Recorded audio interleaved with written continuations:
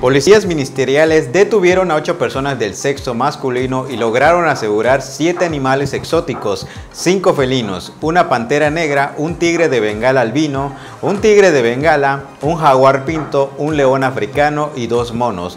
Algunos de estos ejemplares están considerados en peligro de extinción. Ante una denuncia, investigadores detectaron que los animales eran exhibidos afuera de un establecimiento ubicado sobre una de las avenidas principales de Playa del Carmen al no acreditar la legal posesión de los animales y que evidentemente no estaban en el lugar ni en las condiciones adecuadas para el crecimiento y desarrollo de estas especies, los agentes procedieron a la detención de Alfonso S., Isaí M., Carlos G., Jesús H., Versailles M., Gabriela, Álvaro J., Freddy R. y aseguraron el local.